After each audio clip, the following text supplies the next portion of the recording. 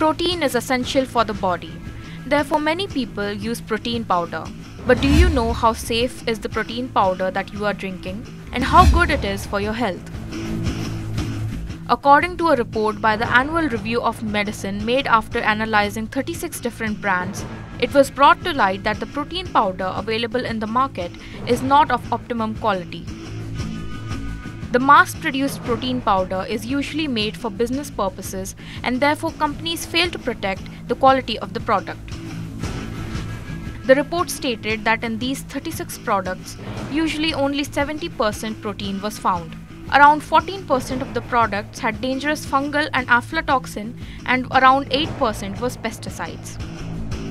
These 36 products were a mixture of good and bad ingredients. Some of them had herbal extracts and other different mixtures. Out of 14 formulas, 7 had herbal extract while the others had different ingredients like soya, banana or milk. Out of these 36 products, 20 of them were produced by Indian firms and others by international companies. 9 of these products had 40% less protein while the others had more than 60%. It is therefore advisable to consult a doctor before using protein powder or use those which are prescribed.